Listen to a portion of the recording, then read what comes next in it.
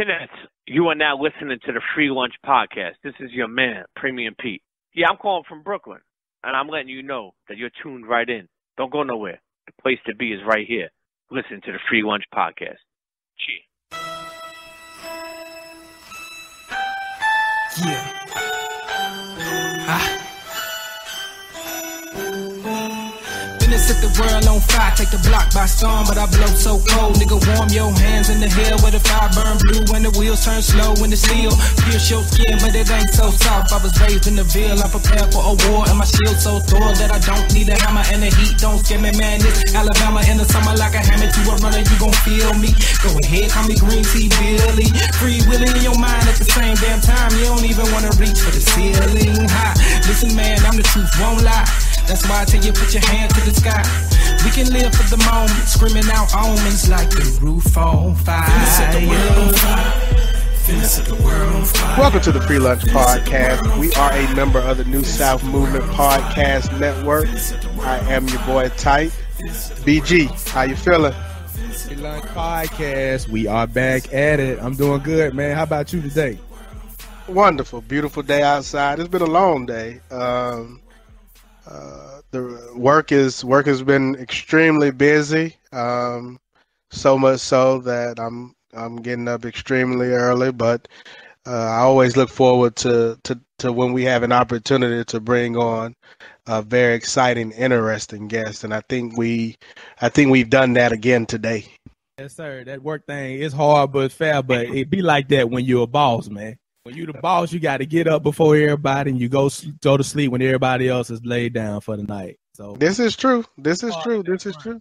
It, it is. It is. But how was your day, sir? Everything, everything was good. Like you said, I mean, we, we, we do that. We do that, that nine to five, as the old people say, and then we come in and we do what we passionate about is get on this, uh, on this microphone and, and have guests on here to tell stories and give testimonies that, you know, in my mind and, and, and what I hope, you know, will, will give some, some people some energy and some uplift that they can take forward and, and apply to their own day to day life. But this is a good one, man, because the way that this comes out, all I can say is you never know. You never know. You never know who's in your midst, and you never know their backstory. And so it's always good to have your eyes attentive and your ears wide open because you might just get hold of something that could change your life forever. And and this this particular episode right here will be a testament to that fact. And you have to ask questions. You have to. Um, you just never know anyone's story. You never know uh, relationships that friends may have or loved ones or what whatever the the case may be and and and even for today's particular guest a close friend of ours bg um, someone that we that we went to school with um, someone that we've hung out in, uh, in in atlanta with and got some pretty uh, memorable stories uh, one in particular, um, you know, as I reflect, um, but uh, not knowing the relationship that that this particular friend and you know from our, that relationship have have our guest on today. Also, big time supporter of the New South Movement, you know, podcast network as well as contributor. He actually has yes. been on a couple of times um, with, with, one of the other shows on the network. So it's just full circle, man. Full absolutely, circle. absolutely. So we had GC uh, he he was a co-host when um, on the D1 Sports Talk podcast, um, and and um, he's a close friend to the podcast and to the network. Well, today we have the opportunity to to interview his dad, uh, Mr. Um, Kevin uh, Loder, who um, is a retired American professional basketball player who was selected in the 1981 NBA draft by the Kansas City Kings. Uh, first round draft pick, 17th pick overall.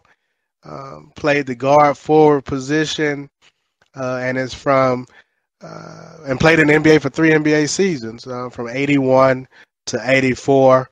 Uh, played with the Kansas City Kings, and also played with the San Diego Clippers.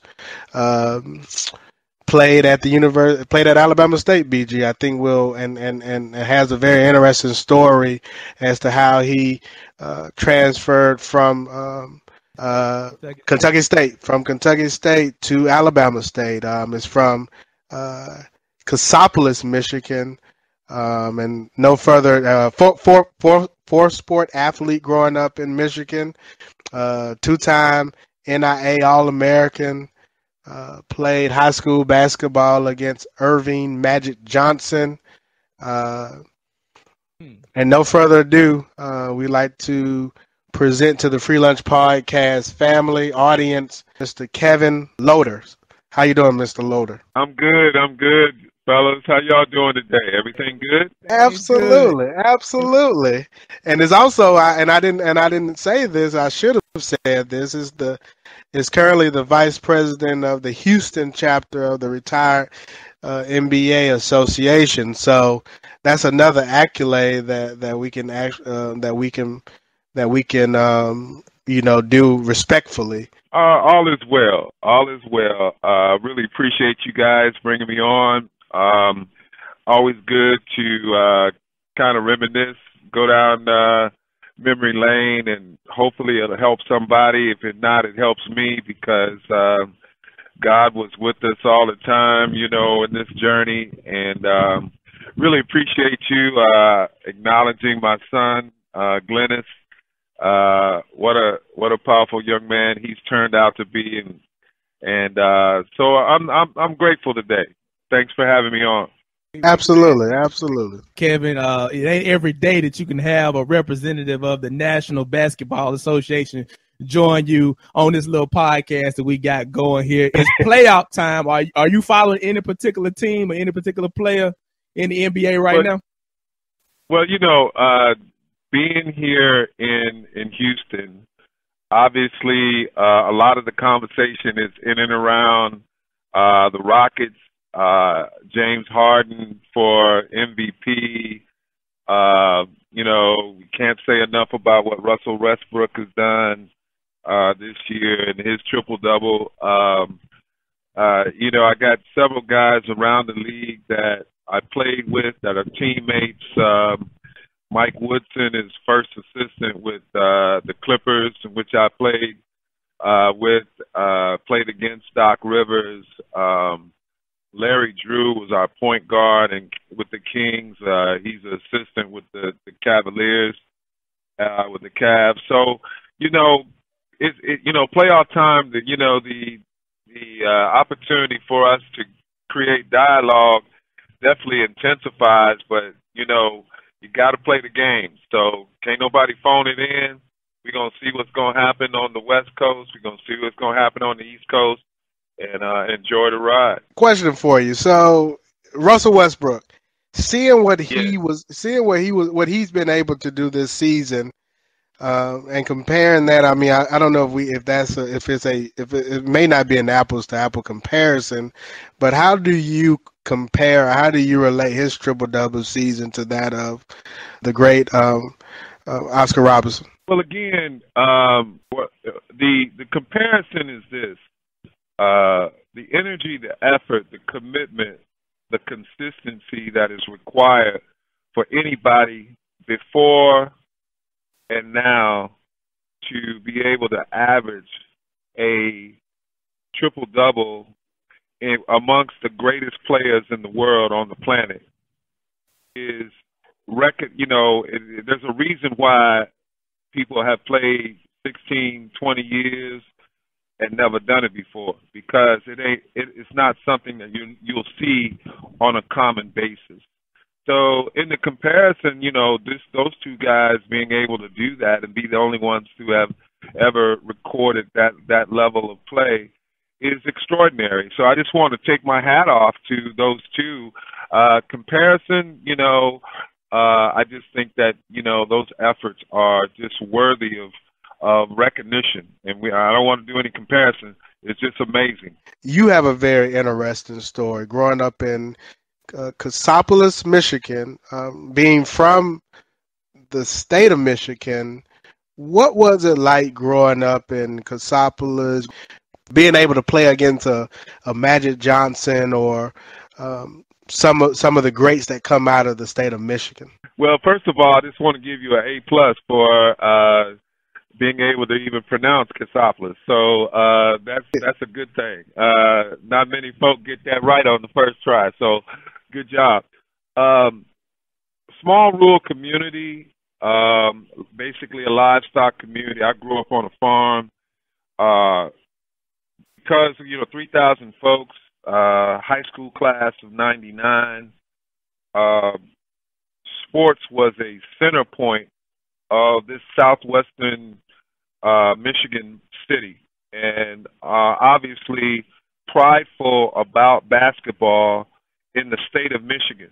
Uh, Magic, uh, you speak about Magic Johnson. Magic was a phenom that nobody'd seen a six nine point guard uh, do the kinds of things that he was doing.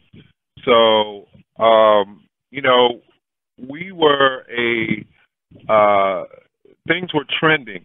Things were trending in the in the fact that you know in my little rural community we always saw uh, sports as a way for you to pay for your education and get to the next level uh, collegiately.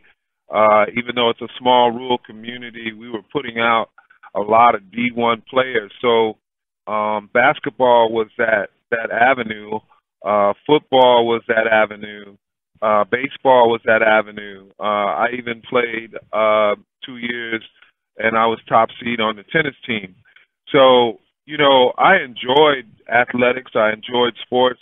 Uh, basketball was just simply my first love, and it was an opportunity uh, for the next level for me to pay for my education and give my parents an, an opportunity to get a break from having a because I might not have seen college if if they had to uh, put a price tag on it and and come out of their pocketbooks. I heard, or I was reading in a, in a previous um, interview that you may have done that you were actually a better football player. Well, it was an interesting story because, um, uh, you know, seventh and eighth grade, uh, ninth grade year, I um, I played quarterback, and uh, during that particular time, uh, a lot of the coaches, uh, when we got to the high school level, uh, that was an era where you know uh, African Americans were not necessarily uh, adored at the quarterback position. So uh, they placed another gentleman at that position, and uh, I I was a competitor. So I was an athlete. Athlete. So I went to split in, and uh, if I couldn't throw it, I definitely could catch it.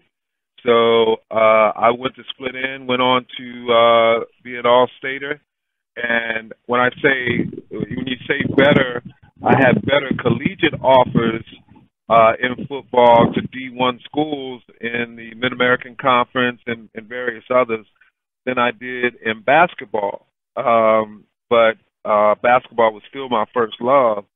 But um, but I so I, that's that's what I wanted to pursue long term. One of the things that is heavily debated is should you just pick one sport and focus on it, or should you you know play the sports that you enjoy and then whatever comes out to have the best opportunity at the next level, you take that. What are your thoughts on one sport versus playing as many as you want? Uh, interesting conversation, um, and I think it's an individual kind of conversation. For me, uh, and in my era, uh, it was not uncommon to have uh, multiple sport all staters, uh, multiple sport collegiate players.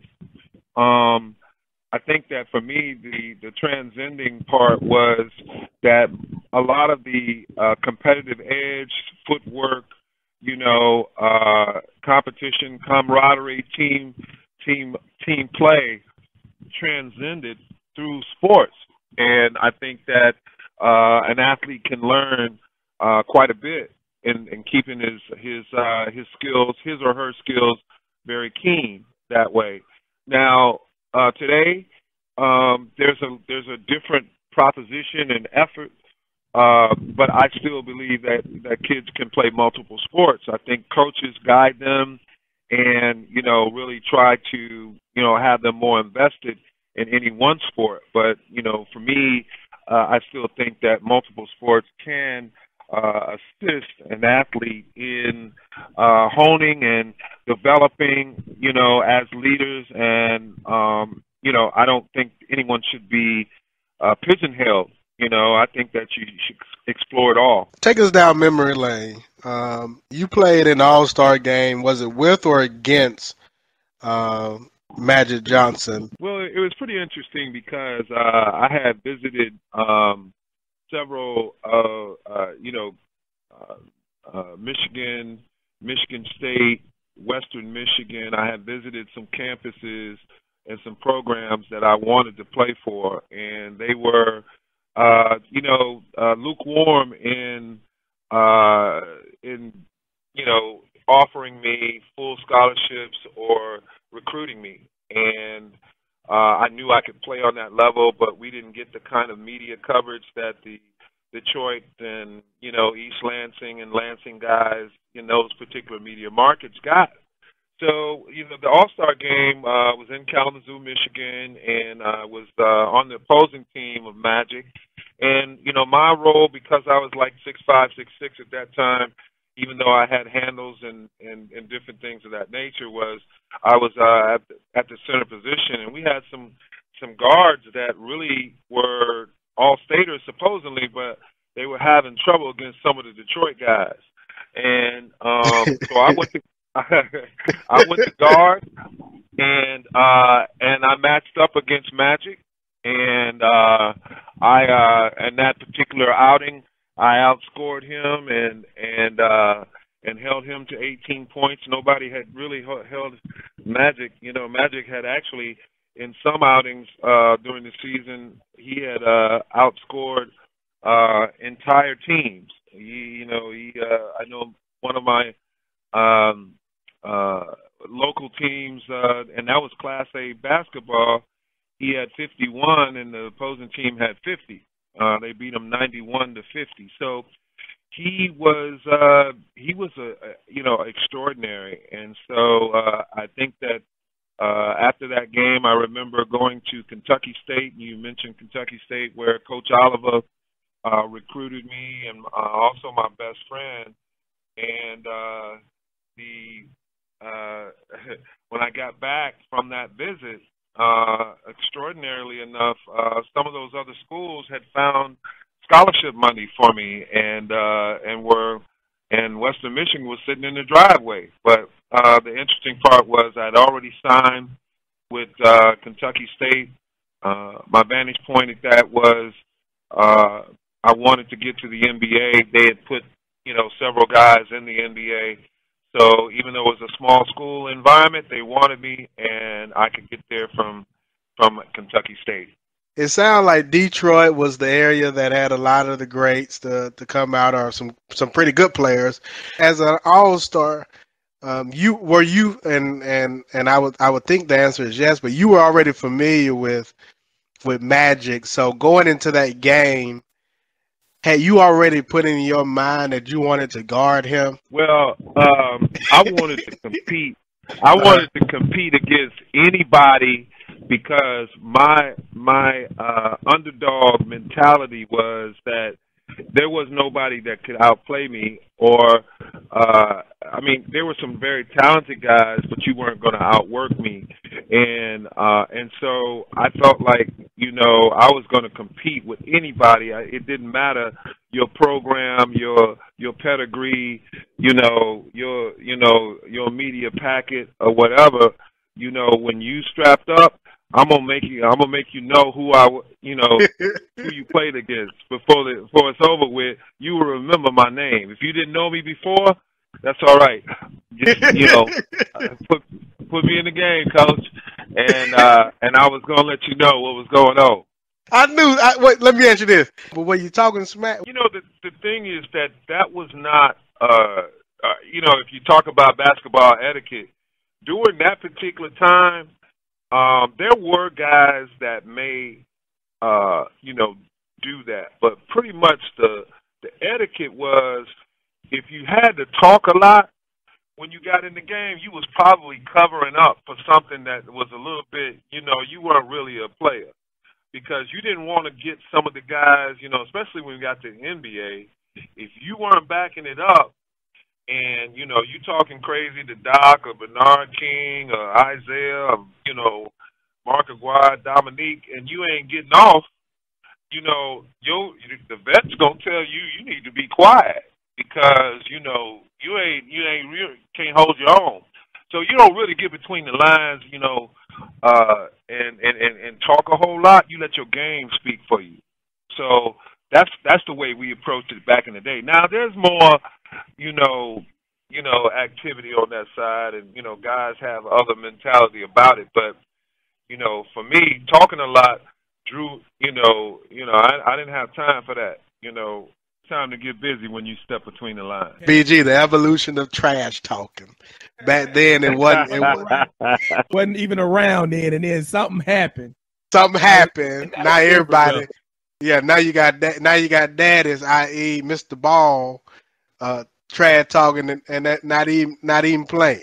They tra- the evolution of trash talking, BG. Which brings up another point, Kevin. You talked about like you had, you know, you had this vision of taking this basketball as far as you could to make opportunities for yourself and to relieve your parents. Were they putting any pressure on you and your athleticism and your participation in the sport to get to that next level? My parents were putting uh, pressure on me to make sure that my grades were right because my mom told me that if I didn't get the appropriate grades, I didn't have to worry about athletics. I wasn't going to get a chance to play. And she proved that when I came home in the ninth grade with some poor grades and she she snatched my my eligibility. You know, I got sanctioned at home, okay, before there was ever NCAA.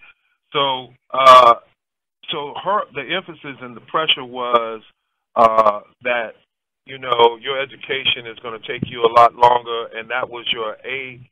Uh, you know, there, you know, athletics was your B selection.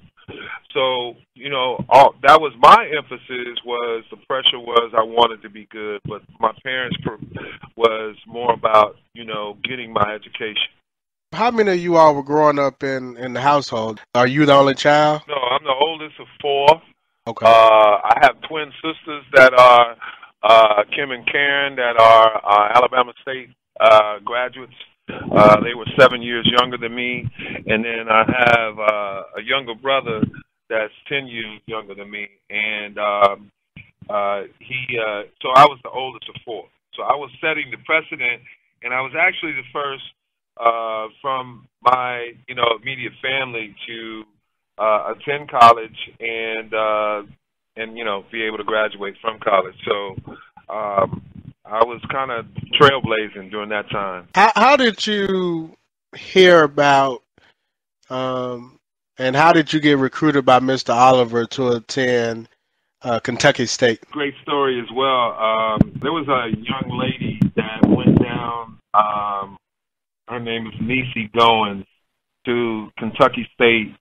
Uh, young lady uh, was first team All American four years running at uh, at uh, Kentucky State, and her mother went down after uh, the first year and spoke to Coach Oliver. Said we got a couple of boys back in in Cass if you're looking for some players.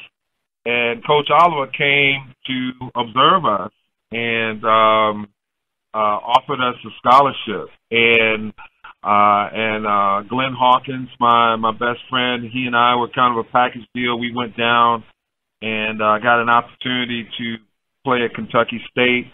Uh, Coach Oliver, Alabama State was obviously his alma mater, and after the first year, was offered the head coaching position there. And four of us transferred um, uh, down with him: uh, Melvin Creighton, uh, Johnny Mitchell, uh, Scooter Powell uh, Jerome Powell, and then myself. And so uh, we went uh, went on to Alabama State and had some um, some very very exciting years uh, at at Alabama State. And and I want to talk about those Alabama State years, but one question I, I was wondering and kind of intrigued by was, um, did the transfer rule at that time apply? Meaning, uh, when you all transferred from Kentucky State to Alabama State, Um, did you have to sit out a year, or how how did the transfer process work back then? Transfer process then worked where uh, in the NAIA small college space was that uh, you had the option of sitting out a portion of uh, the year and you know, uh, and then we actually had to sit out ten games, or you could sit out the full year and gain a full year of your eligibility. But that that so we did sit out ten games uh, my sophomore year, and we came in, we ran the table. Uh, actually, we were seven and three when we became eligible, and uh, went on to uh, win. I think uh, some that year, nineteen twenty games and we lost uh, in the district finals to Birmingham Southern. Well, coming into it, Kevin was uh, was was Alabama State doing much in basketball at that time when you first arrived? You know, uh, it had a lot of potential, but it you know because at one time Alabama State was recognized uh, before we got there. They had uh, the largest uh, or the tallest team in the nation. They had two seven footers six ten. They they went seven seven foot, seven foot, six ten, six six guard, six four. They were they were very you know they had some talent and they were gifted, but um, they didn't have the chemistry or possibly coaching to really get them over the top. And so when Coach Oliver came in, you know, we we changed the culture. You know, Coach Oliver was a no nonsense. He he'd been um, uh, Lucias Mitchell had been his mentor, and uh, you know, uh, Lucias Mitchell was a uh, you know at Kentucky State was a, a powerhouse. You know, they've won uh, you know several nas- national championships. So when Coach Oliver came in, he brought that that mentality of a championship and a winner uh, along with him. Real deal, because his name is on the building now.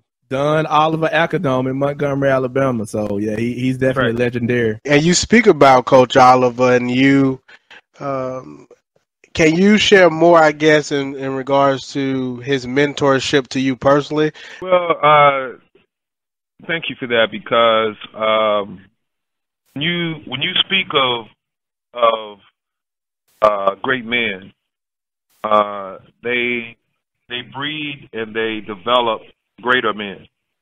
And that becomes a legacy of how someone begin to pour into your life where you are developed into uh, he sees more capacities than you see in yourself.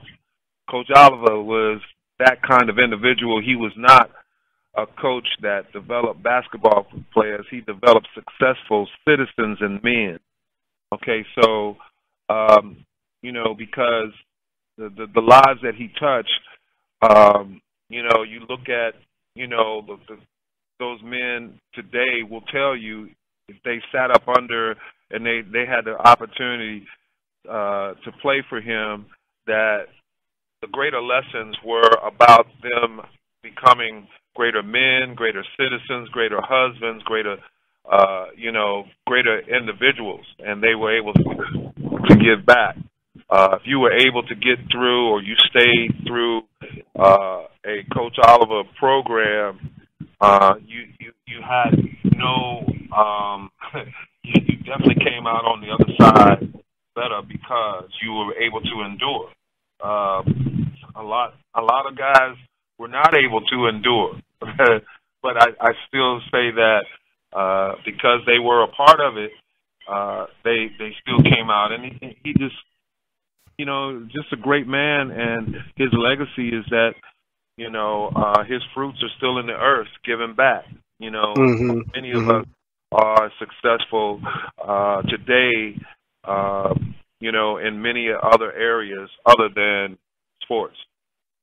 Before before we walk down this uh, the 1979 and 80 season and and kind of talk about some of some of your accolades during that particular those two seasons, um, let's talk about Alabama State mm-hmm. and the role that Alabama State was playing um, in the state of Alabama um, and some of the the cultural issues that were taking place in the city of Montgomery. First of all, I was a uh, I was a Midwestern kid, so um, the civil rights uh, movement and the uh, the kinds of racism and prejudice uh, effects was only for me. I had only seen on black and white TV, so I had never experienced that level.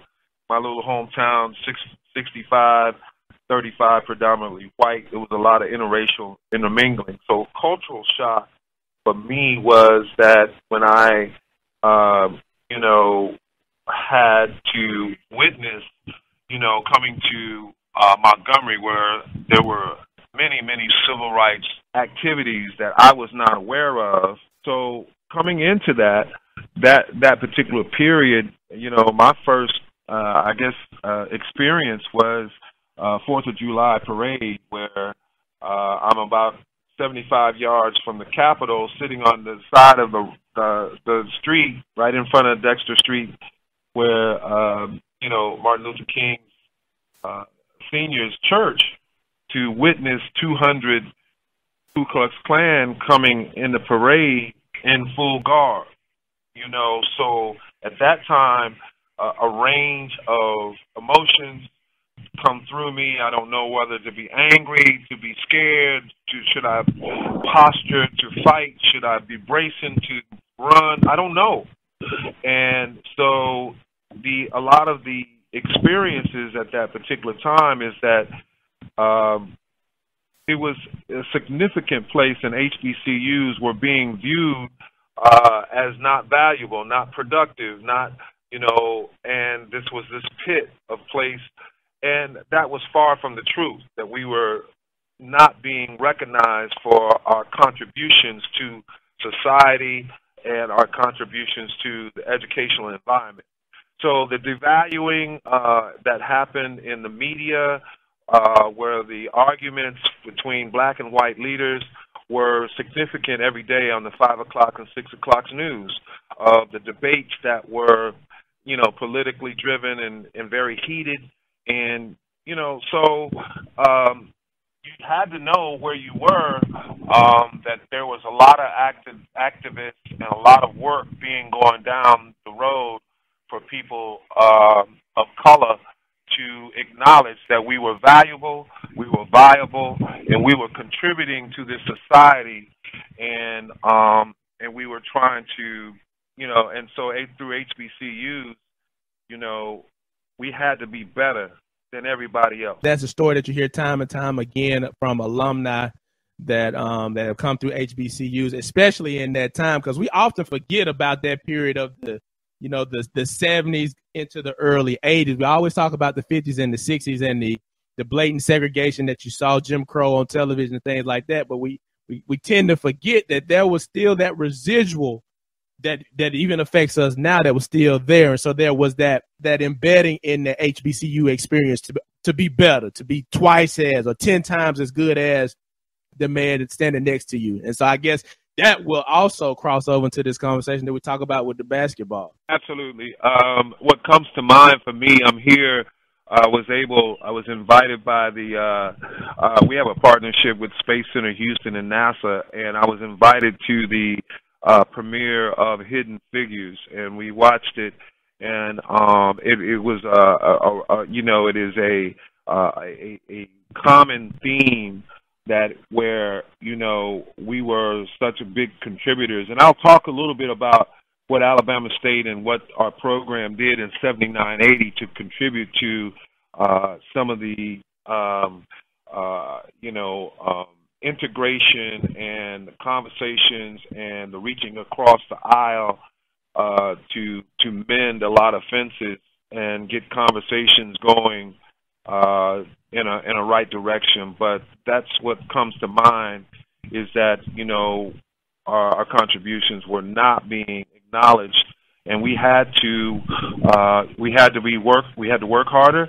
and uh, many of our professors and teachers uh, you know, prepared us for that. Can you share with our audience uh, regarding that se- those those seasons and the role that that that you all played in regards to um, bringing awareness and using basketball um, for for essentially cultural to bring cultural awareness and some of the things that you all um, um, did during that period? Well, you know, um, uh, to set the backdrop, um, mm-hmm. that particular season, uh, we were ranked number one in the nation all year long. We entered into uh, the national tournament 29 and one, ranked number one in the nation. So we were getting uh, a lot of awareness at that time, being compared uh, to University of Alabama, Auburn, uh, South Alabama, UAB as uh, possibly the the best team in the state because of uh, the way we played and uh, the the level of play. So we were putting a great product on the, um, and then we went into the national tournament that that year. We ended up 32 and two. We were runners up in the nation. Now, mind you, let me back up and say that this is not long after George Wallace, the governor, had stood in the in the uh, right. in the doors of University of Alabama and right. said that this university would never be integrated. There would be no blacks in there. Uh, Bear Bryant said that you know we'll never play, you know, African American or black athletes. And now, um, you know, there's a different offering because you know the black athlete is changing the sport in every sport. It doesn't matter. Okay, but basketball and football, obviously, obviously, we're being respected at another level. Uh, and so what's what's happening is during that 79-80 season, um, there wasn't a whole lot of discussion between uh, Alabama state officials and the state in funding. And, you know, those conversations were happening, but they were very uh, trite. They were very short. And so um, what I was what was happening with me is that I was the quarterback club in Montgomery was a very prestigious uh, club of good old boys. I'm just going to put it out there, good old boys, and not many black athletes got recognized or respected. And so, um, you know, now that we're having great success and we're getting exposure nationally um, I'm the spokesperson, and I'm getting chosen as Player of the Week, Player of the Month, Player of the Year for the first time that there's a black athlete being recognized in the quarterback club. Well, right. in these particular exclusive environments, um, you know, Alabama State officials as well as, um, you know, a lot of the, uh, you know, the the the rank and file for the state are having lunches and talking sports, and it opened up dialogue for other things to be covered in reference and meetings to happen that really um, raised the, uh, uh, as I say, reach across the aisle because they were now proud as Alabamians to, if that's a word, uh, to to really appreciate what was happening at Alabama State and really look at us differently through sports. So, mm-hmm. uh, upon uh, being runners up in the nation, uh, um, here comes the NBA. And the NBA uh, in 1980, my junior year, offers me Kings offer me a uh, what we call hardship contract at that particular time for me to come out of college early. And so the NBA is now in Montgomery at Alabama State looking at mm-hmm. one of their athletes. And um and what I did was at that time my counsel from uh Coach Oliver and those that I respected was that uh and, and that and those two I, I I'll just put it out there, Coach Oliver and Dean Vaughn, uh Dean Percy Vaughn, the, the Dean of College of Business Administration, indicated to me and helped me in in a wise counsel that my education was something that no man could ever take away from me. So I had, you know, um, you know, weathered the storm, went to school year round for, you know, going into my fourth year, so that I could graduate and graduate on time. and and keep my you know my GPA high. So I chose to go back to school to get my degree my senior year, and uh, that was a respectful decision that you know um, you know that a lot of the the good old boys respected, and it brought the NBA back to Montgomery and Alabama State my senior year. Uh, sometimes uh, they may have been the only white guys in the gym, uh, sitting at a table that you know. So that you know was a little prestigious and uh, event that um, that really brought uh, uh, you know some some very positive things to uh, Alabama State, to Montgomery, to the state of Alabama because that year also uh, Coach Oliver and I were chosen to participate in what was considered uh, a mock Olympic. That was the year that the uh, U.S. boycotted the Olympics. Uh, we went over to Sarajevo, Yugoslavia, as a part of a team to participate in a a, a mock Olympic competition, if you will. Again, giving Alabama State and Montgomery in the state of Alabama uh, international exposure now. So, you know, there was a lot of great things written.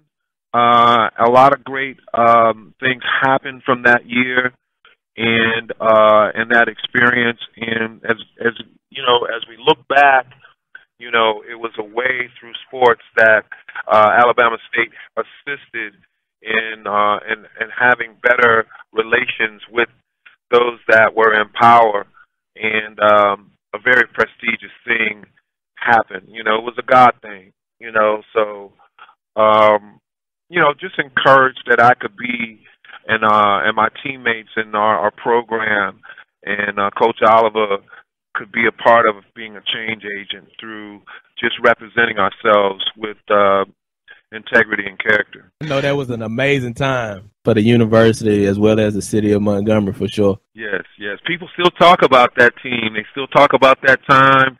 You know, uh, you know, CJ Dunn Arena was a place to be and it was a rocking time and uh you know you you know if there was five thousand people in inside there was twenty five hundred on the outside trying to get in hope they could get in looking in. And uh and in the big house as we called it at that time you know you didn't want to see us up in there. You know you didn't want to come up in there uh you know and and wear anything other than black and gold because you was about to have a bad day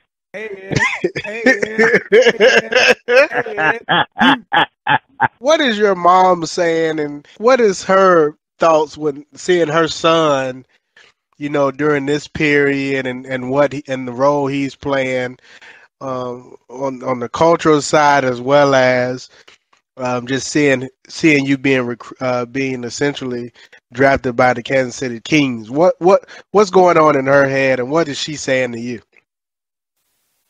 You know, my mom and dad, man, I want to tell you, my mom was some kind of, uh, my mom, uh, she went home to be with the Lord in '05, but her legacy still lives as well.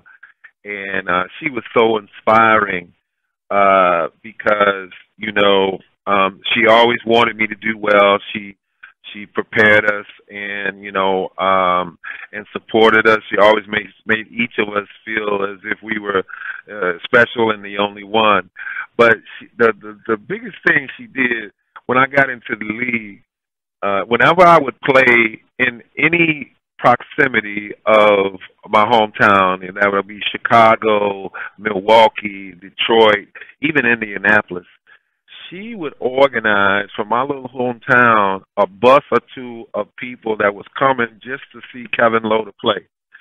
And I want to tell you, you know, when you see, you know, a busload of, you know, this ain't but 3,000 folks. So, you know, you get a, a bus of 45, 50 folk and you get two of them, a 100 folk, you didn't got, you know, a third of the folk from the hometown to come. You know, ain't nobody guarding the, the you know, you know, everybody left. You know, last so one, last one close the gate. That's right. That's right. That's right. Shut it down. You know, you, um, but uh, she was so so supportive, and my dad was, you know, uh, still is a this a sports fanatic, and also uh, you know, a wonderful supporter as well. But they were they were just so prideful and so proud of of what has happened, and I was just uh, really encouraged, and they just continue to show their love. Um, they were even in high school. They were always at all of my contests, and it's always good to see up, you know, look up and see them. And Dad would lose his mind in the stands, and uh, and you know, people have to calm him down because he looked like he was to have a conniption fit. But but um, just very very supportive parents, and I, I just uh, thank God for them. Or were they aware of what was happening and what you were doing when you were in college? Though, Did, were they aware of the role you were playing in in Montgomery and and uh, some of the the segregation and relational uh, cultural issues that you were addressing because of, of what you were able to accomplish on the court? Were they aware of that? You know, um, it's interesting you should say it that way. Uh, I don't think I don't think so, um, because you got to understand that um, my parents were individuals that were God fearing and just wanted uh, me to be uh, courteous, obedient, um, to uh, you know carry myself with uh, you know uh, as a, as a as a strong young man, and so it, it wasn't until later on that you know, and that was also contributing to, to, to Coach Oliver because Coach Oliver took pride once he and Coach uh, Bill Graham, his assistant, you know, he chose, you know, uh, young men of character. You know, that was that was one of the things is you know you're gonna have to act right around here, and you're gonna have to do it not only on the court, but you're gonna have to do it off the court, or you wasn't gonna be there. You know, so absolutely. Uh, and and and so you know, um, those those particular times, just being, you know, we dressed uh, in blazers.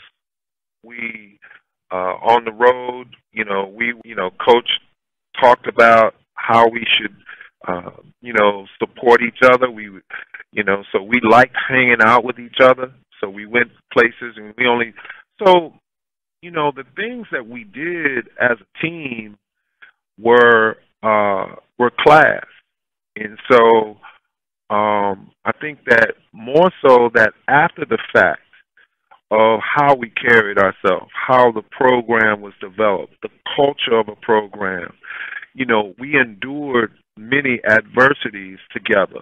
Uh, Coach protected us against everybody, including the administration at Alabama State. So he didn't allow anybody to, uh, you know, to really uh, have any kind of uh, intrusion or disrespect of the program. So how we carried ourselves uh, from top to bottom, uh, how Coach Oliver, you know, led the program, um, it, it changed the whole format. Everybody had to line up with the level and uh, of integrity and character of our program, and and that raised the the the bar and the standard for the university. That you know there was no low jumping. You know, there was you know only excellence was the was the measure, and so you know that that was what changed the the, the playing ground because we exemplified excellence throughout the program.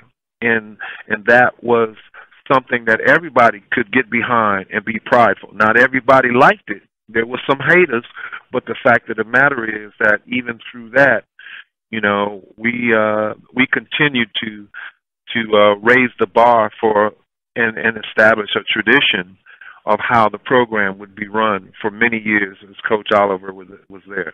BG, I think the reason I asked that question and I and, and I asked it particularly because the misconception and, and a lot of people take for granted that internet wasn't always around.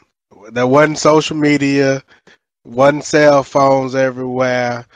And not to say that the 80s were archaic, but at the same time, um, you know, I can remember a long distance call being being a lot of money.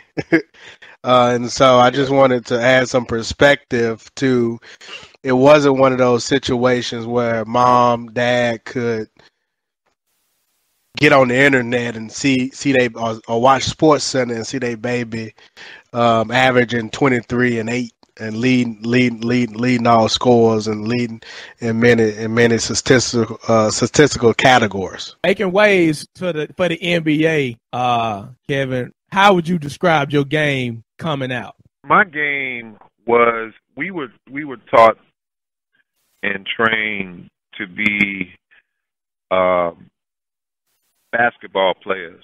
You know, we weren't a one, a two, a three. You know, uh, we uh, we talked about being. Uh, I was a swing man, but you know, because um, I played one, two, and three in the NBA, so uh, I played some point guard. And when you, uh, my game was, I loved the transition, so we got up and down. Um, attacking the basket. Uh, but I made a living from 20 feet and out, and that was even before the three point line was was even instituted in, instituted in the, in the in the college game. Uh, you, you tack another nine points on my average, and if they had the three point where it is now, because that we call that a layup where they shooting from now. But at any rate, um, it you know um, the game has changed uh, a lot, but um, you know, I was I was uh you know, um we were inside outside, you know, that short game, that attacking the basket, uh I was a scorer.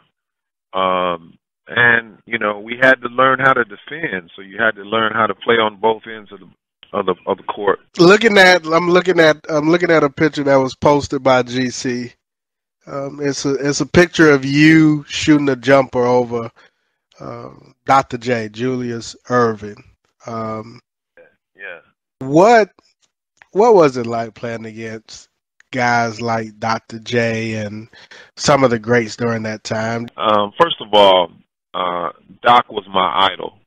Um, you know, uh, back during the day, um, when we used to watch TV, there was only one NBA game on on Sunday, and that was uh, uh, the NBA on CBS. So we all gathered around the TV over to whichever friend's house, and then we watched that game, and then we would go to the park and we try to emulate what we saw on TV. Uh, getting into the NBA, um, playing against your idol. I remember being in the Spectrum uh, I'm a rookie. I'm starting.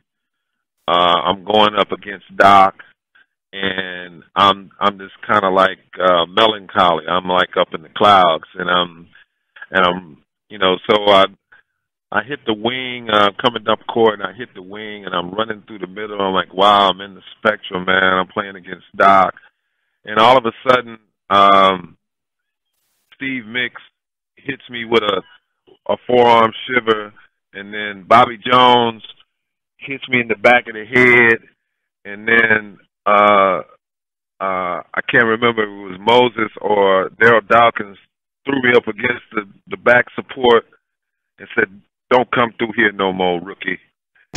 so I was kind of shocked into reality, but after that game, um, I had met Doc in the chapel service prior to the game, and um, he really took uh, uh, took me under his arm, uh, invited me out. I met his you know his lovely wife Turquoise, and he uh, we went to an Italian restaurant, and uh, we sat at the table of about twenty five of his friends, and took me to his home afterwards, and you know showed me uh, a lot of love and um, poured into me some wisdom about you know his career and things that he was you know and, and I want to say that he was more impressive as a person than he was as a player. And I had a different uh a different outlook upon him. Um but uh a wonderful memory and uh I want to say in that picture that you're looking at, Uh, I froze him and I drained that jumper. Okay, so that that jumper was money. Okay, so that's all It I was- can tell was- you about the rest. It was wet, as they would say. Oh yeah, yeah, yeah, yeah. It was wet. It was wet. It was all of that. Yeah, yeah. And we won that night. So yeah, that that night too, we won. And I mean, just looking at the just looking at that draft class, that, that draft class, you got names like Mark Aguirre, Isiah Thomas, uh, Detroit Pistons, Buck Williams, just to name of name a few. Um, Yeah. and, and and and coming out of Alabama State. Now, at any point, was there in your heart was there like this thing of, you know, maybe being intimidated or anything like that, or was it just game on every night? Game on, baby. Uh, let me tell you like this. See, um, Coach Oliver uh, trained us in a mindset that if we execute what we know to do, we ain't got to worry about who we playing against. You don't matter what's on your jersey. You know, you can be uh, Kentucky, you can be UCLA. If we do what we supposed to do, so that means that every man, every man up, every man up. So, you know, mano a mano. So we competed every day in practice like it was a game. Our greatest games were in practice. So when you come up against whoever it was, you know, they they got to they got you know if they got game that's great, but you got to guard me too. So if I do what I'm supposed to do every night, you know, I was never intimidated because the other thing was the mentality to walk into that moment, those big moments against whoever it was that you were playing with, prepared. So it was a mentality of preparation physically and mentally, and that preparation uh, and that time that you put in, when you step into that moment, you're ready. You know, so it don't matter who you're playing against. So, you know, I was never intimidated by that. I was more like, I love being the dark horse because, you know, if you tell me that Alabama State don't play against the kind of competition that, you know, University of Alabama did, I was going to show you, okay, here, take some of this. Because we we knew we could play. We knew we could play against anybody. So, you know, um, it was a mentality that we were prepared for. That uh, you know, we worked very hard to, uh, and when I say excellence, excellence takes more effort. So we put that extra effort in. So when the moment came, we weren't intimidated by anything. The other, the, the biggest thing is go out there and execute what you know to do. I, I like to ask this question to former professional players um, because I'm, I'm um, at times I've been surprised by the by the answer that they've given me. But um, whether it was in the NBA and college, growing up back in uh, Cassopolis, Michigan, who's the best player you ever played against? you know, um, this question comes up a lot, and you know, um, the greatest player. I don't know if you can put anybody in that category and say, you know, one way or the other. I I can tell you that I played against the greatest players in the world. I can tell you that. Um, but you know, everybody had, you know, uh, you know, a game.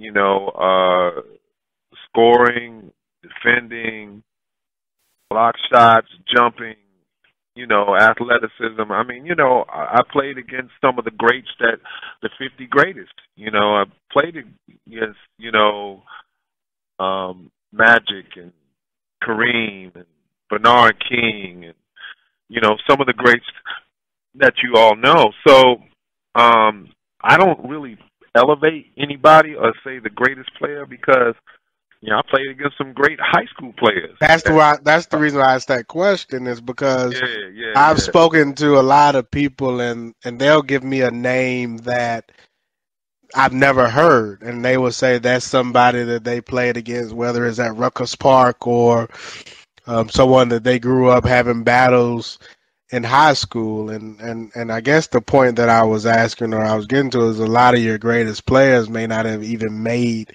made it to the professional level for whatever reasons. There is a guy by the name of Gerald Busby. Gerald Busby is from Buchanan, Michigan. Played against him in high school. Uh, he had a brother named Mike Busby that uh, was my teammate at um, at Kentucky State.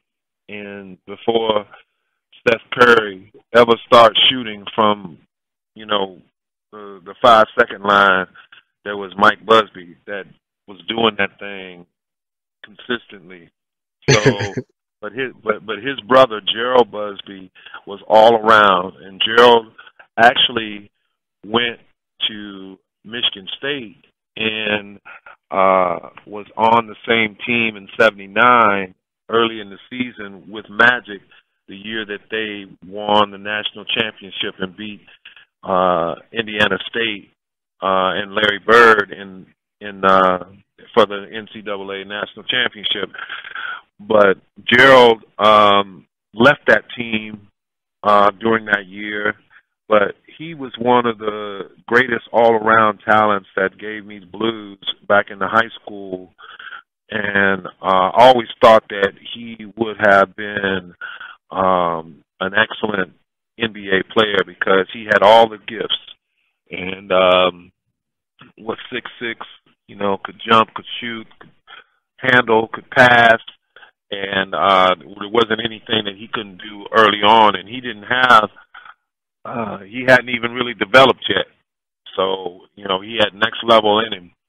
But at any rate, that's uh that's one of the guys from high school, man, that that I always thought was one of the greatest players that uh you never heard of that had next level in him.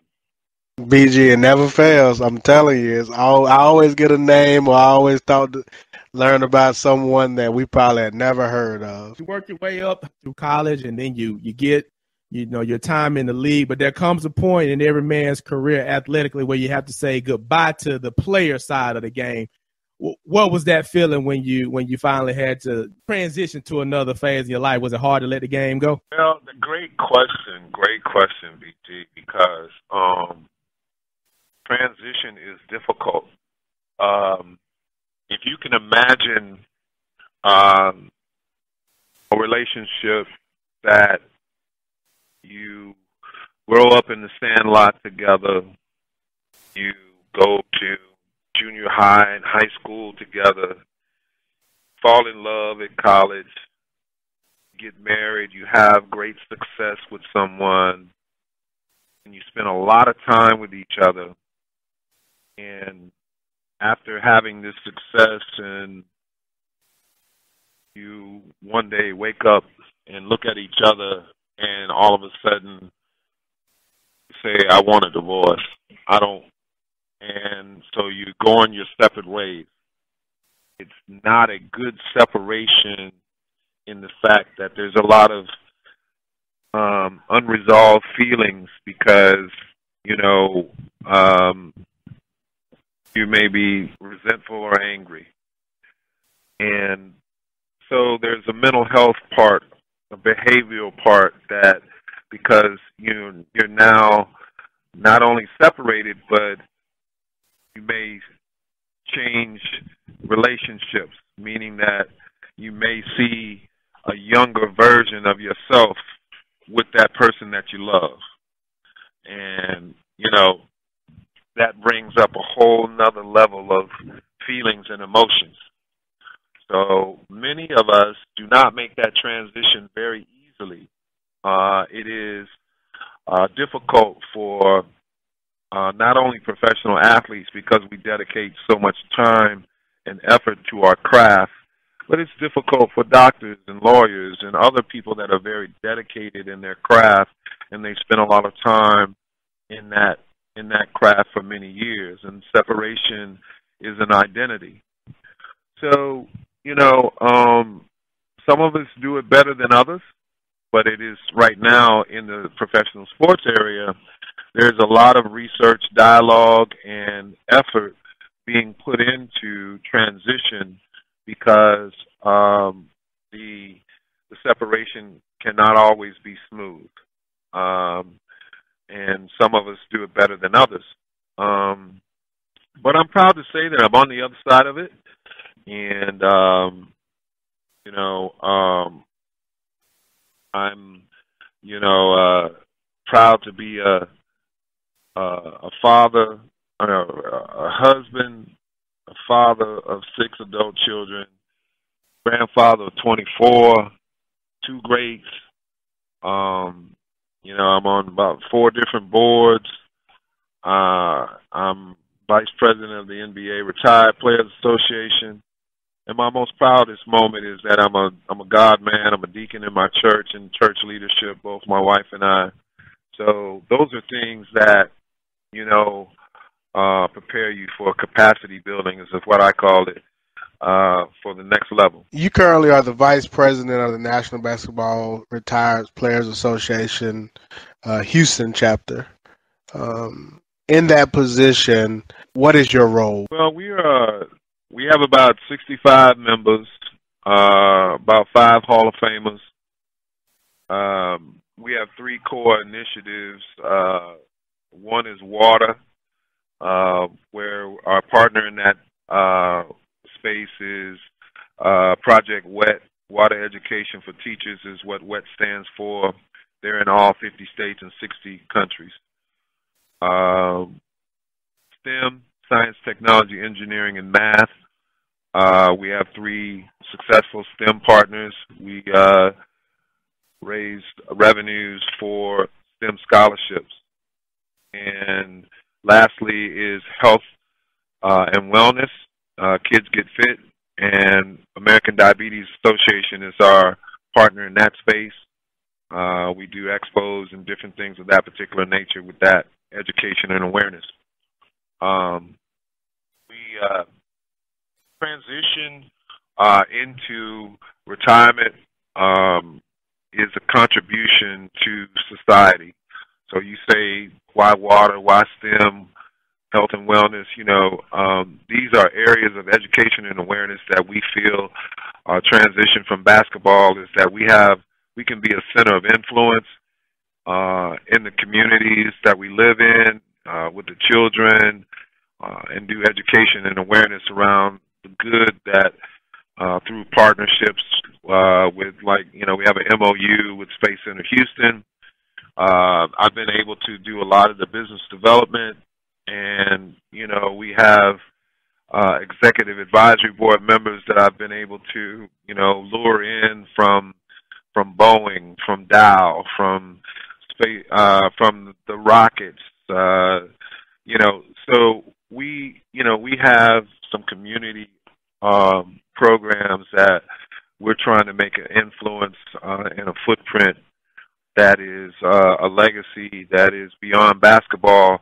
We can use our um, uh, that NBA brand to uh, bring some awareness and, and good in, in other areas.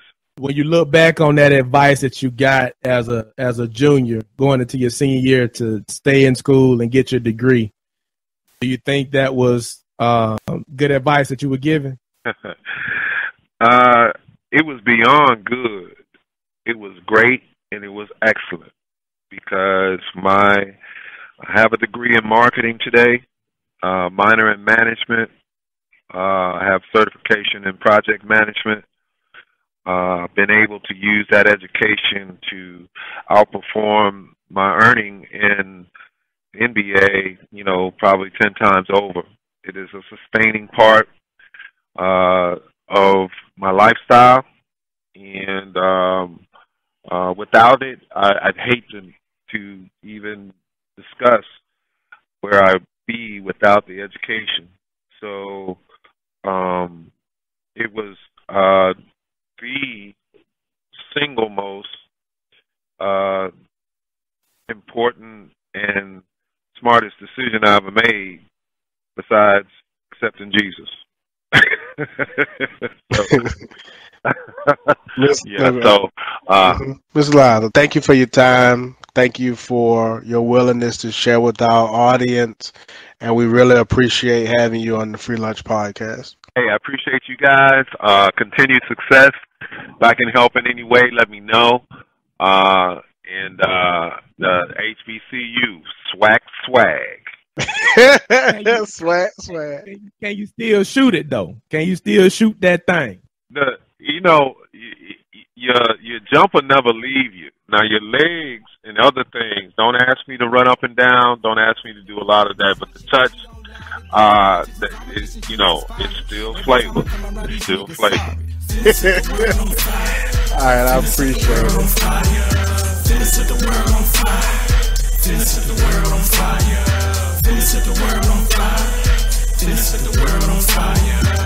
Set the world on fire. Finna set the world on fire. Finna set the world on fire.